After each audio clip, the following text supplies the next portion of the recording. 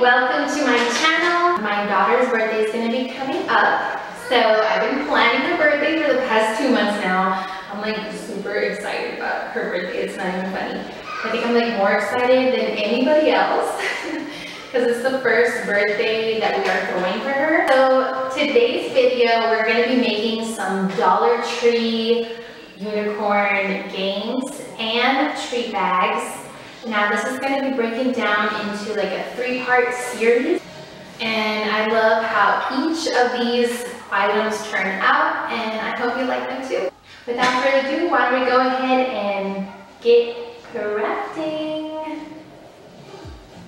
So for our first project, we're going to make this unicorn inspired hoop toss game. You're going to need a pack of paper plates, the pack of foil numbers. And all these items I got from the Dollar Tree. You're also going to need a pack of party hats, a feather boa. I did not use the double-sided tape or the ribbon here. You're also going to need a hot glue gun and some hot glue, a pair of scissors, and lastly, you're going to need two packets of bracelet glow sticks. Take out the amount of party hats that you're going to use.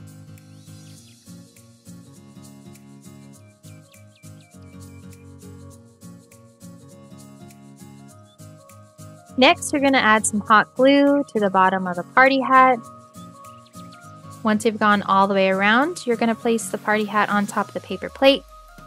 And then you're going to add some more hot glue to the bottom of the hat and the paper plate to make sure it's nice and secure. Don't worry what it looks like because we're going to be covering it up anyways.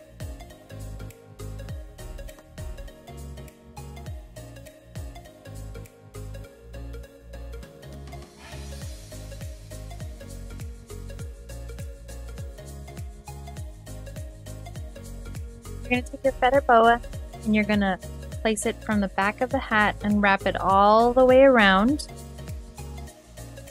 till you meet the other end. We're doing this to measure out how much of the feather boa we're going to use. Once you've done that, you're going to go ahead and pull away all the feathers so you don't cut them off and just cut off what you measured. And I cut off the little ends right here I'll eat it. And then I pulled away all the feathers again and put a heaping amount of hot glue to the back of the party hat and place the feather boa there.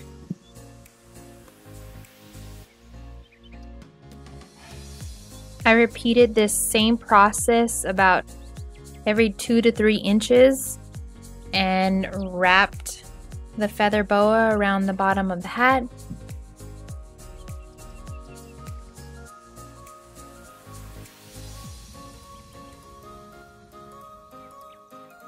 Next, I went ahead and clipped off any of the feathers that were flying everywhere to make it look nice and even.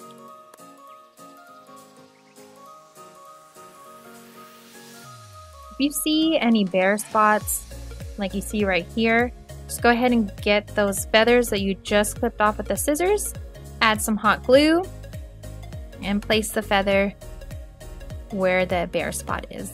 So everything looks nice and clean and even.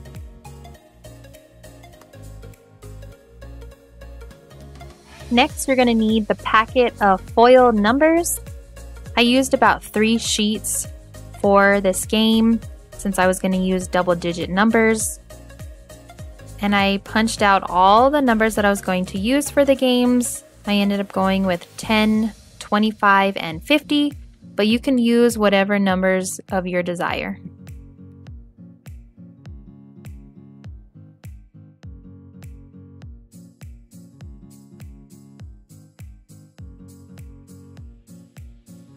Next, I hot glued each of the numbers that I picked out to the front end of the paper plate. And you're just going ahead and repeat this process until each plate has a number on it.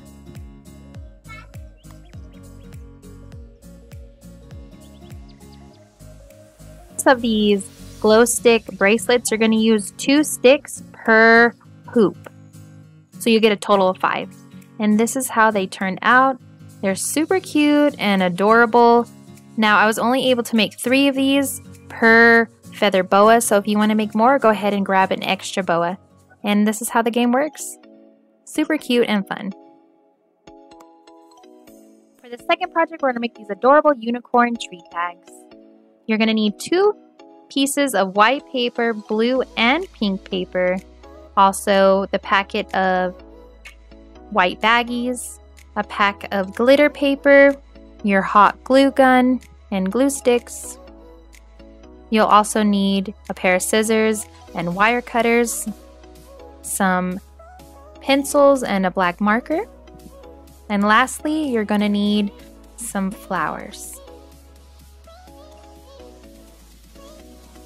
One of the white papers you're going to use to sketch out the stencils that you're going to use so everything looks cohesive throughout each bag.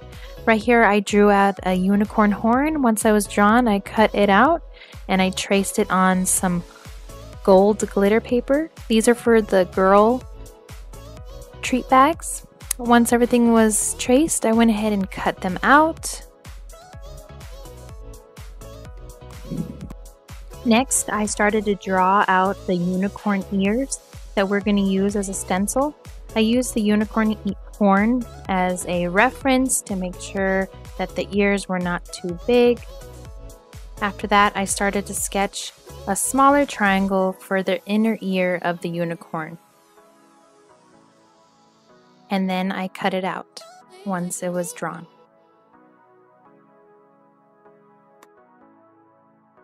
For this next step, you're going to use the bigger triangle that we just sketched out and you're going to trace it on to the second white piece of paper that we had and you're going to need to draw out two triangles per bag that you're going to make. Once you do that, you're going to go ahead and cut them out. Now we're going to use a smaller triangle on the pink paper for the inner side of the unicorn ear and we're going to repeat the same steps as we did with the bigger triangle. And you're also going to need to trace out two small triangles per bag as well.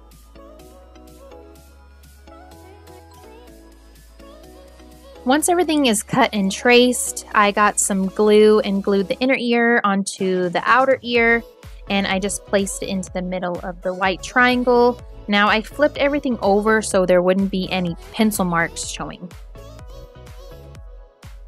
To give the horns a 3D effect, I went ahead and drew some diagonal lines in between each of the bumps. It just really brought the horn to life. Next, you're going to remove all of the greenery from all your flowers and cut off the stems with the wire cutters. Now some of the flowers from the Dollar Trees, you don't have to like cut off the stems with the wire cutters. You can just simply pull them off from the flower. And if they have any nubs like you see right here, just use your wire cutters and cut them off.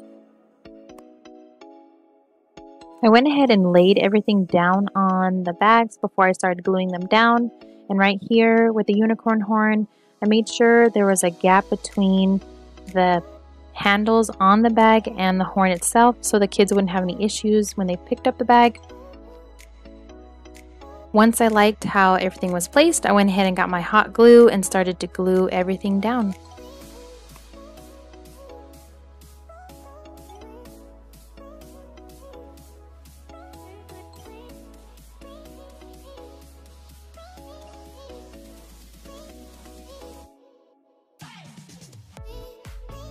Next, we're gonna go and hot glue the flowers.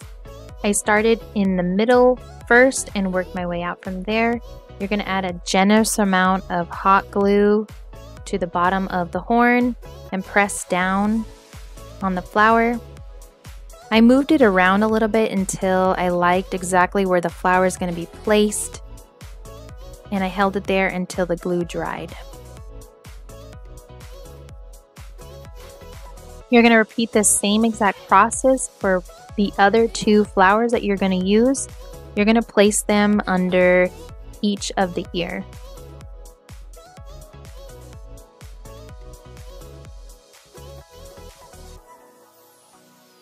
I then added some more hot glue to the back of each flower, and to cover up all the green parts in the back of the flowers, I got the flower and hot glued it down to cover up any spots I did not want to show.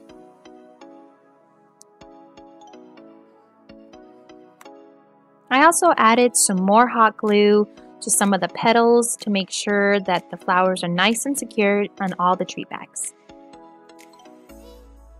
Lastly, I sketched out some really pretty eyelashes on each of the treat bags and then I traced them with a black marker to really bring them forward. I just thought this was so stinking cute and I love how each of the bags turned out. And you just repeat all the same process amongst each treat bag.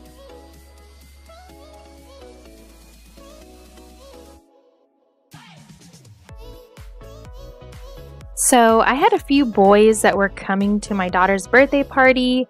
I didn't want to give them a unicorn bag with a bunch of flowers on it. Most boys really wouldn't want a bag like that, so I went ahead and personalized a unicorn treat bag just for the boys. And right here, I went ahead and grabbed the treat bag as reference and started to sketch out some sunglasses to make this really cool rocker type boy unicorn. And this is also going to be used as a stencil. Once I drew it out, I cut him out.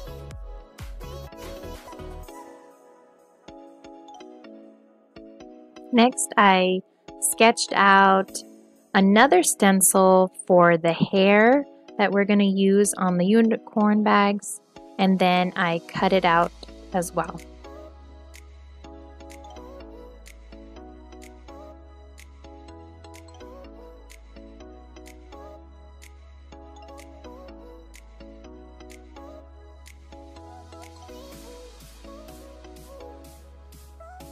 These are the items you're going to need to assemble the boy treat bags. We're going to start off by making the inner part of the unicorn ears. We're going to use the light blue paper and use a smaller triangle. And just like we did with the girl treat bags, you're going to trace out two triangles per bag as well and cut them out.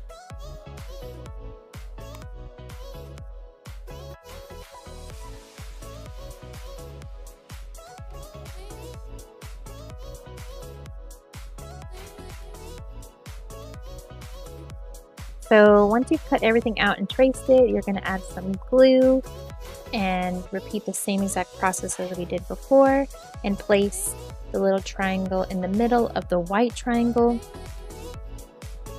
Next, I got the unicorn horn stencil that we made previously and I traced that out on some silver glitter paper.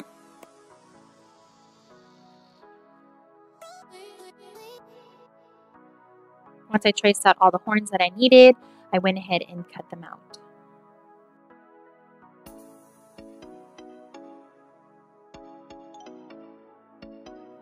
Next, I took the hair stencil that I made and traced that out on some blue glitter paper. I know it's a lot of tracing and a lot of cutting, but trust me, it's going to be worth it at the end because you're going to have these really cute, adorable treat bags that you made for your child's birthday and everybody's just gonna love them. I then got the sunglass stencil that I made and traced that out on some black glitter paper. In case you're interested in all the stencils that I'm using in this video, I'll be linking them below in the description box. And once I traced it out, I went ahead and cut it out.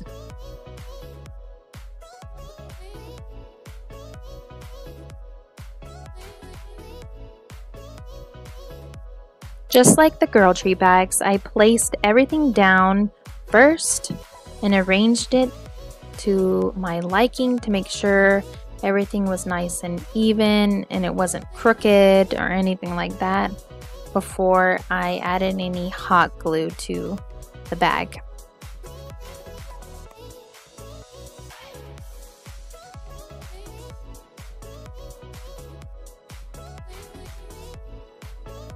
I then got some hot glue and started to glue each of the items onto the bag exactly where I placed them previously. And I repeated the same exact process to each of the boy bags.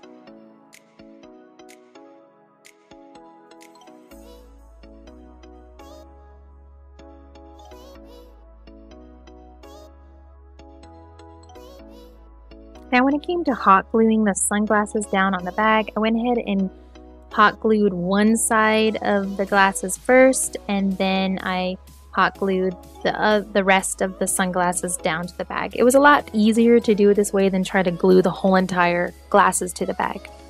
Lastly, I got a black marker and traced the outer edge of the ears. It was just really cool and I love the effect that it gave and it just really brought the boy bag to like a whole nother level.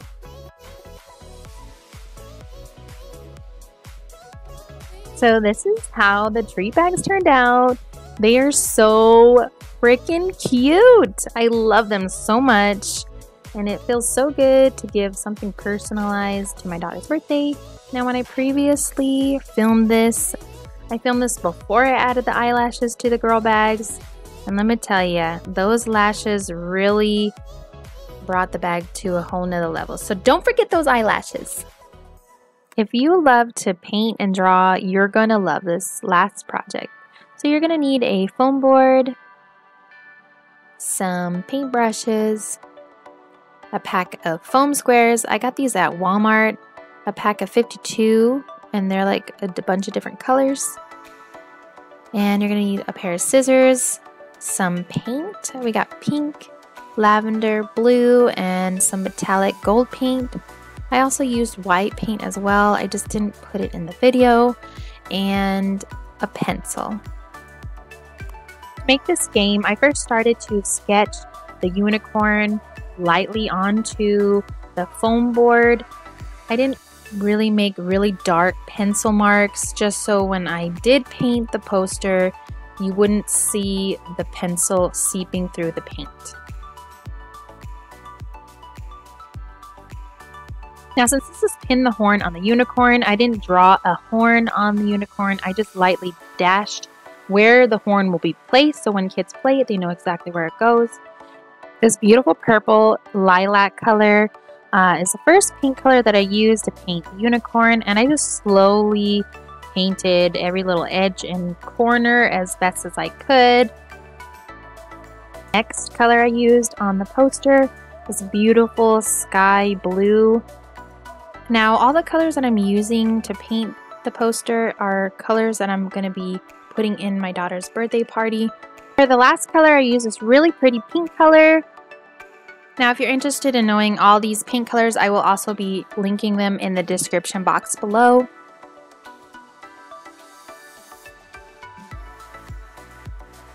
Now to give the unicorn some depth and texture, I also added uh, one strand on the unicorn's hair with this really pretty metallic gold color. It was like really cool. I just liked how it all turned out. And I know it sounds pretty redundant to paint over a white surface, but I wanted to take the unicorn's face and bring it forward off the paper so you can distinct the difference between the two give a unicorn a really cute little rosy cheek, I used this bristle brush and dabbed it lightly in some pink paint. And then I got my paper towel and just took off any excess paint and I kind of dry brushed it and dabbed it lightly into the spot I would like it to go. After all the paint has dried, I went in with a black marker and outlined the whole entire unicorn. And I did the same thing to the unicorn where I just dotted it lightly so the kids know exactly where it's going to go when they play the game. And here I just wrote out a sign which said pin the horn on the unicorn. And then I went in with a marker to trace over it and I painted it the same exact colors that I used on the unicorn below. Make the horns for the game, I measured out what I just previously sketched on the poster so I know how tall the horn needs to be. Now these pack of 52 foam sheets. There's four sheets per color. This is a great way to distinct between each child that are playing the game. And right here, I just sketched out a unicorn horn. And after I sketched it out and cut it, I used this first horn as a stencil for all the other horns that I was going to make. And you just cut it out and repeat the same process with all the other horns that you're going to make. Here's how we make the horns stick to the poster board. Use some double-sided tape and here you go. Voila, a beautiful, awesome unicorn. Pin the horn on the unicorn poster. So cool. DIY. And everybody's to love it at the party. And so here we go. I just wanted to demonstrate exactly how it's going to work.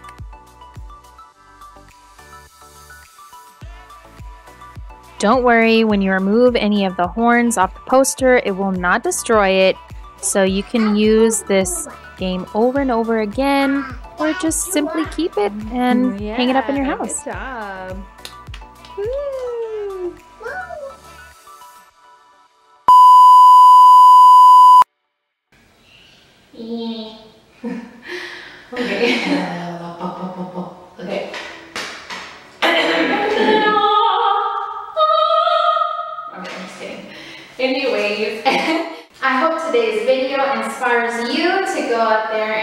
Your daughter a unicorn birthday party. If you enjoyed this video, please give it a big old thumbs up.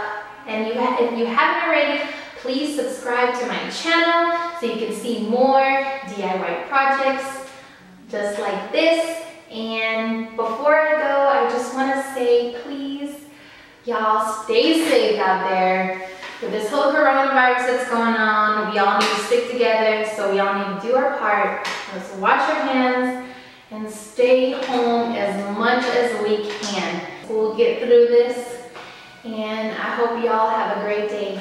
See you next time. Bye.